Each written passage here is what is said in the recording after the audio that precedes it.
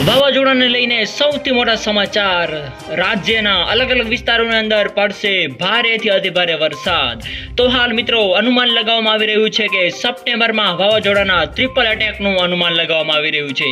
આ સાથે સાથે રાજ્યના અલગ અલગ વિસ્તારોની અંદર ભારેથી અતિભારે વરસાદ. તો હાલ મિત્રો બંગાળાની ખાડી પર સિસ્ટમ બની શકે છે અને આ સિસ્ટમ જે છે એ છ થી આઠની અંદર બંગાળાની ખાડીની અંદર બનશે વાવાઝોડું અને આ વાવાઝોડાની અસરના ભાગરૂપે ફરી વખત ભારેથી અતિભારે વરસાદની આગાહી. આ સાથે સાથે ગુજરાતના દક્ષિણ ગુજરાત અને સૌરાષ્ટ્રના અલગ અલગ વિસ્તારોની અંદર ભારેથી અતિભારે વરસાદની હાલ શક્યતાઓ વ્યક્ત કરવામાં આવી રહી છે.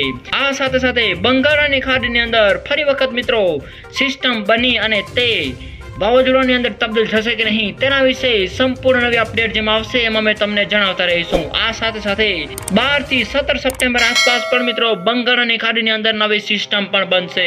અને ત્યારબાદ સત્યાવીસથી પાંચ ઓક્ટોબર દરમિયાન પણ નાના નાના વાવાઝોડાઓ આવી શકે છે એવું હાલ અનુમાન લગાવવામાં આવી રહ્યું છે. આ સાથે સાથે અરબી સમુદ્રમાં પણ મિત્રો હળવું લો પ્રેશર સિસ્ટમ પણ બની શકે છે અને જેની અસરના ભાગરૂપે ગુજરાત રાજ્યની અંદર ફરી વખત વરસાદી માહોલ પણ જોવા મળી શકે છે. આ ઉપરાંત મિત્રો સપ્ટેમ્બરની અંદર સક્રિય ચક્રવાત સક્રિય થતા રાજ્યના અલગ અલગ વિસ્તારોની અંદર ભારે વરસાદની હાલ શક્યતા વ્યક્ત કરવામાં આવી રહી છે. તો બીજી બાજુ સપ્ટેમ્બર મહિનાની અંદર વારંવાર ચક્રવાત સક્રિય પણ થઈ શકે છે.